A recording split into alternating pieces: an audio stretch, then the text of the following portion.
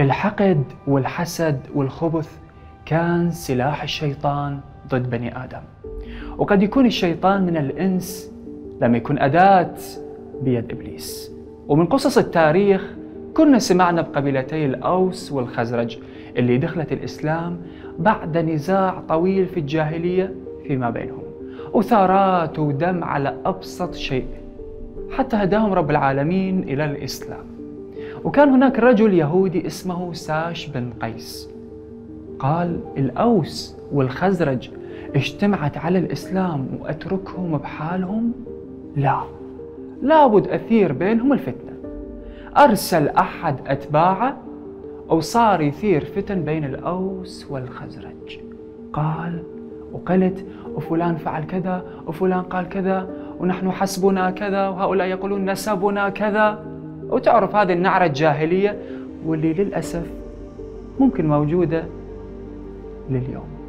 أنا ابن فلان وأنا نسب فلان.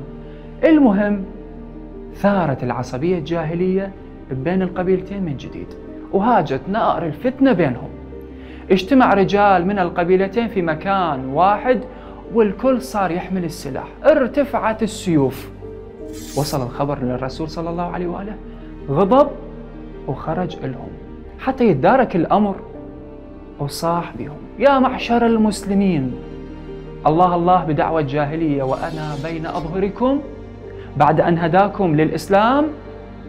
نعم لأن هذه النعرات الجاهلية ما تتناسب مع جو الإسلام. أراد يذكرهم أن منهج الإسلام قائم على المحبة والتسامح والعدالة. أما على كل شيء نزاع وحرب وثارات هذا منهج جاهلية. والله تعالى ورسوله بريء منه. يقول الله تعالى أفحكم الجاهلية يبغون وهذه الآية موجهة إلى الجميع. بعدها ندم القبيلتين وعرفوا أن الشيطان أراد أن يوقع بينهم. من جانب آخر الإنسان واجب يكون واعي أو يحذر من أهل القال والقيل والفتن.